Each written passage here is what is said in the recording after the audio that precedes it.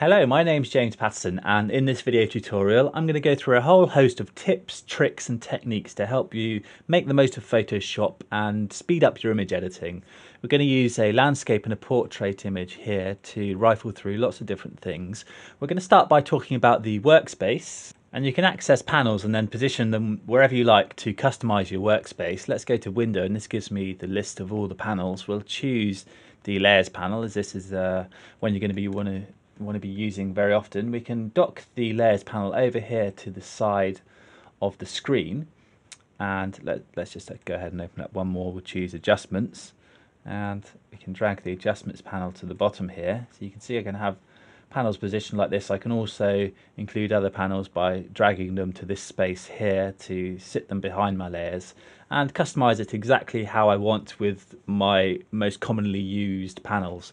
You can then go to Window Workspace and you can go to new workspace and then save your workspace and then that way it's always there for you. Can go back to it whenever you need. And another useful feature for arranging your workspace is to sort out the documents which you can do so using the Arrange Documents tab if I just click on this and let's choose this option here. So this gives me different ways to view all of my open documents and it's context sensitive. So it's based on how many documents you have open at one time. So if you have millions of documents open, you can view them all in a grid if you like.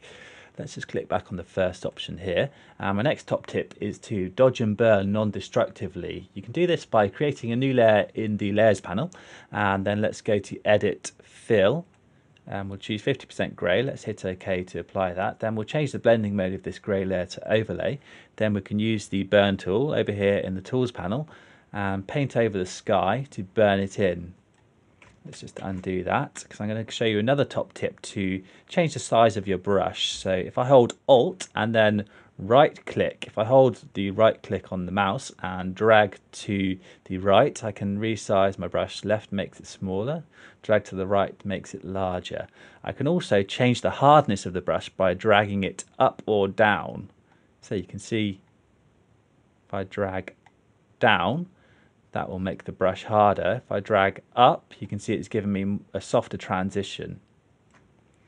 So this is a really quick way to change the size and the hardness of your brush and then I'm just going to whiz over the sky here with my burn tool to burn that in. Let's do the same with the reflection down here.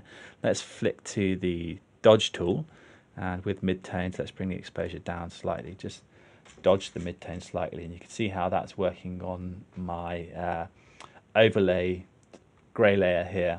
The next top tip is to use the brush tool to paint in tone. So let's just first go ahead and duplicate our background there by pressing Command and Control J. Then let's grab the brush tool over here in the tools panel. Let's choose a nice brown colour. Let's hit OK to apply that. And we need to change the blend mode of our brush. So you can do this using another top tip, which, to which is to hold Shift and Alt.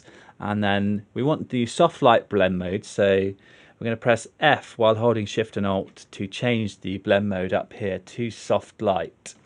There's a whole host of different shortcuts for the other blend modes, so Shift and Alt, O for overlay, H for hard light, and so on and so forth with all the other uh, different blend modes. We'll keep it at soft light for now, and then if I paint with brown, with soft light blending mode, you can see I can change the tones in the image selectively very quickly. Next on the list of top tips, I'm going to add a vignette to this uh, scene. So let's go ahead and add a new layer by clicking on the create layer icon here in the layers panel. We're going to use the gradient tool to apply this vignette. And we want to reset our colors so we have black and white. So let's hit D to do so. Uh, we want white as our foreground color, black as our background. So let's flip them over. Then let's select the radial gradient option here, which is the second option. And we can simply just click and drag from the center outwards. And you can see this gives me a radial gradient white to black. And then we need to simply change the blend mode up here. We can choose soft light. And let's flick that on or off. You can see how that's working. Just to darken the outer areas and draw attention to the castle in the middle now I'd like to merge all of these layers into one but still keep them all intact beneath. So we can do this by clicking on the top layer in our stack. Let's click on the create new layer icon here in the layers panel to give us an empty layer. And then if we simply hold command and control, shift, alt and E, that will merge all of those layers together into one fully editable layer on its own. And I think this whole scene could do a little bit more contrast. So we can do that using an adjustment layer, but rather than having to go into the individual adjustments, we can just click on the presets down here to drop these open. So let's click on the levels presets and we'll just go for increase contrast 2 and you can see how that's working. Let's press Command and Control and E just to merge that into our top layer. And you can see now I have lots of different layers sitting on top of each other. Occasionally you may have trouble locating a certain layer. There's an easy way around this. If you just right click while, while you have the move tool selected, let's right click over a certain point in the image and this will give me a list of all the layers that are currently sitting over that point and I can select a layer so let's just choose background copy and you can see in my layers panel it flips to the background copy and I can work on that layer. Let's click back on my top layer. Now if we wanted to apply a filter to this layer we could simply go to filter and make our choice but if we go to filter and convert for smart filters this gives us more control over the filter. Let's hit OK to apply that. Now if we go to filter and let's choose a filter let's go for if we go for texture let's go to the texturizer and if we want a canvas texture let's just make it a little bit stronger. Let's hit OK to apply that. And you can see in my layers panel I have my texture as a separate smart filter that I can turn on or off. And if I double click on the texturizer uh, words there, I can go back into the texturizer dialog box and readjust the settings to get them looking how I want. And then if we're happy with our smart filter and you do want to apply it, you can just right click on the layer and go to rasterize layer and that will apply that filter. So now I think we're finished with our castle, we just need to sharpen it and we can do this using another top tip for high pass sharpening. Let's duplicate the layer first by pressing Command and Control and J and then let's go to filter. And if we go to other and high pass and we'll keep the radius somewhere about 1.8 let's hit OK to apply that. And we simply need to change the blend mode. And to do this we can click on the drop down here or we can simply use the same shortcuts we used earlier which is shift and alt. If you hold those and then if you hit O you can see that changes the blend mode to overlay and one other final thing we can do is to check the horizon is straight. You can do this by going to View, and let's go to Show Grid. And this gives us a view of the grid. You can see along the line here that our horizon here is fairly straight, so we don't need to worry about it. If you did need to rotate the image, you could do so using the crop tool. Just simply crop and then use the tilt options to rotate the crop. Let's just go to view show grid to turn that off. And now let's flip to our portrait image for a few more great tips. And the first tip with this portrait is to use a gradient map to get really even skin tone. So let's zoom into the face here. And if we click on the add adjustment layer icon, let's choose gradient map. And then first of all, let's just bring the opacity of our gradient map down to zero. And then if we click off of the layer mask onto the actual gradient map section of the layer there. Then click within the gradient map gradient in the adjustments panel. This will open up the gradient editor where where we can uh, select different colors to make our gradient from. So if we choose the white color, then we'll choose a light color in the skin, somewhere around the lightest tones. Maybe if we move over the arm here, you can see we have lighter tones in the hand. Then if we click to add a midpoint, just somewhere in the middle of our gradient here, and then let's choose a midtone somewhere around here looks good. Then let's click in the shadows and we'll choose a shadow area somewhere in the darkness under the chin here looks good. Let's hit OK to apply that. Now we need to change the blend mode of this gradient map adjustment layer to color. Then if we bring the opacity back up, you can see how that's adjusting the tones to give us a, an even skin color. Obviously it's affecting parts of the image where we don't want it to work, such as the hat and the hair and everything but the skin. So if we click back on the layer mask, press Command or Control and I to invert the mask and fill it with black, then we can grab the brush tool with white as our foreground color. Let's choose a nice soft circular brush and then we need only paint over the areas of skin to reveal our gradient map here and give us a nice even skin tone. So you can see how that's working. Let's do the same over the arm here. And if I flick that gradient map on or off, you can see the effect is quite subtle, but it's giving us a really nice skin tone there. Next, I'm going to show you a top tip on how to blur skin using a high pass filter. So first of all, let's just press Command and Control and E to merge our gradient map and give us one background layer. Let's press Command and Control and J to duplicate it. Then let's go to Filter, Other, High Pass. Let's bring the radius up to about 10. Somewhere around there is fine. Let's hit OK to apply that. And now we need to invert this. So we can do so by pressing and holding Command or Control and hitting I. That will invert that top layer. Then we need to change the blend mode of this top layer to overlay, which we can do if you remember by holding Shift Alt and pressing O. Let's just make sure that we're not using our brush tool, otherwise we're going to change the blend mode of our brush, so we'll set that back to normal. And then let's click on the Move tool, Shift Alt and O. This time we'll change the blend mode of the layer to overlay.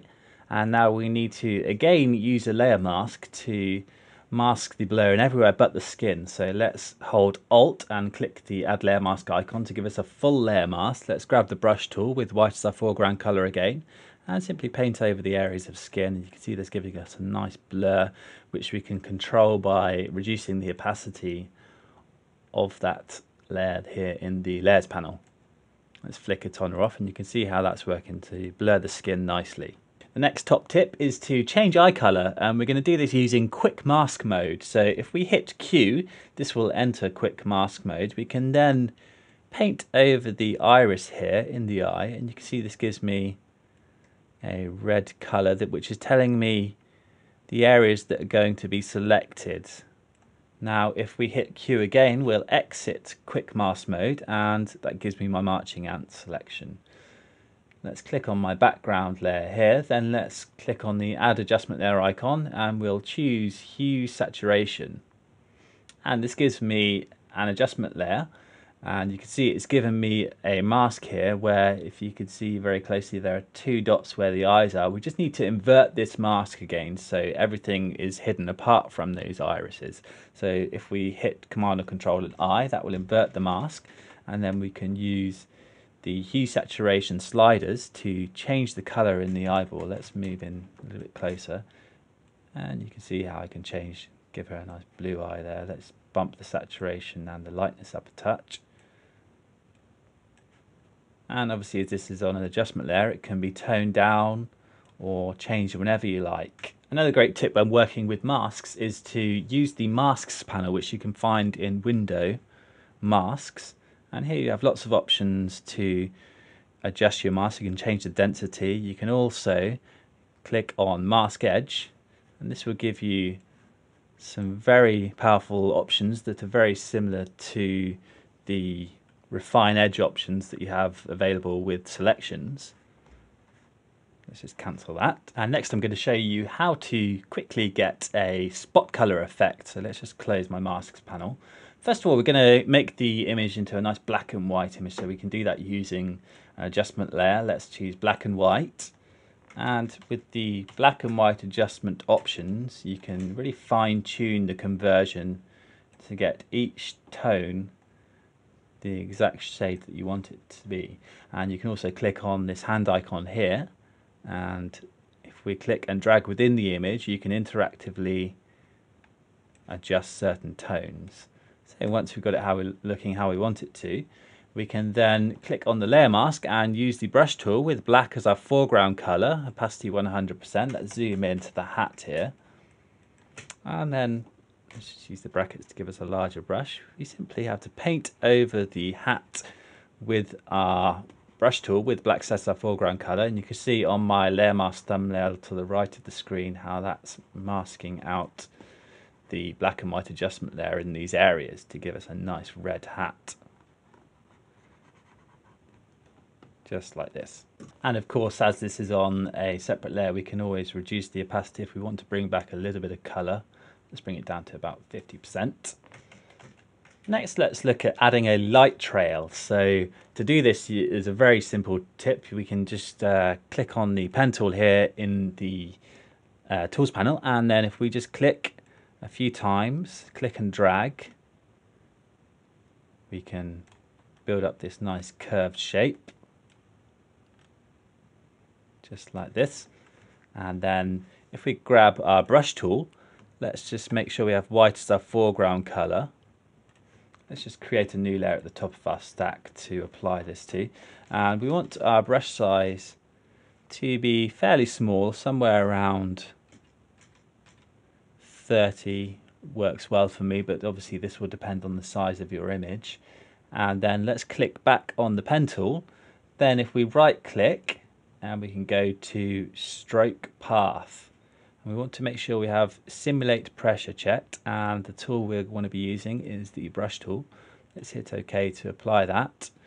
And you can see that hasn't worked quite as I want it to. Let's hit Command or Control Alt and Z to undo that. Let's go back to my brush tool and let's check this option here. for tablet pressure controls brush size.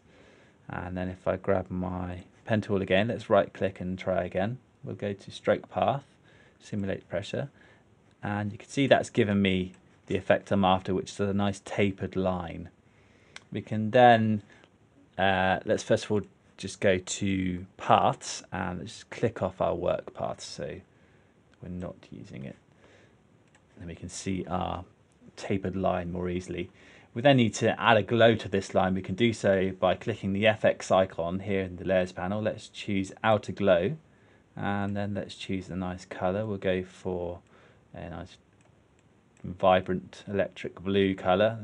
Let, us hit OK to apply that. Let's change the blend mode here to vivid light. And then we can change the size to make our streak more blue or less blue. So somewhere around there I think looks good. Let's hit OK to apply that. You can see I now have a really quick and simple streak of light running through the image. Okay, so that's it for my list of top tips and techniques. I hope you enjoyed it. Thanks very much.